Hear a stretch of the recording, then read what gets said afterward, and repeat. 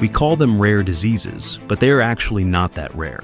There are nearly 8,000 different variations occurring in every organ, in tissues and in blood, and affecting millions of people, often congenital or hereditary, but sometimes appearing throughout the life course. They may be challenging to recognize and treat, yet they impact people's lives each and every day. For all those living with a rare disease, we make every effort to make timely diagnoses, identify new treatments, and provide lifelong care. All children and adults with a rare disease deserve a promising future. This is what we strive for. Prenatally and throughout their life, patients can count on our commitment. Our acknowledged center of expertise is cutting edge and progressive, led by expert professionals in the field of rare diseases. There is a wealth of knowledge and experience, but we can always do better.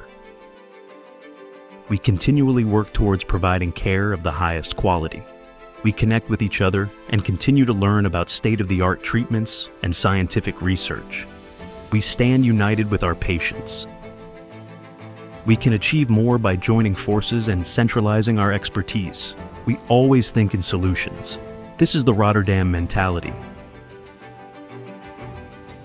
Researchers seek to understand rare diseases and their underlying mechanisms active efforts are made to bring effective treatments into clinical practice. Technological experts explore groundbreaking innovations. In this way, research and healthcare go hand in hand. By embracing modern technology, we can advance care for our patients. We closely collaborate with others on a regional, national, and international level, with patient associations, esteemed researchers, and with other centers and European networks. We are committed to the cause, and together we are dedicated to improving the quality of care, pooling and advancing knowledge, learning, and actively taking steps to move forward, upholding our social responsibility, building a bright future for all patients with rare diseases. We are the Erasmus MC Rare Disease Center.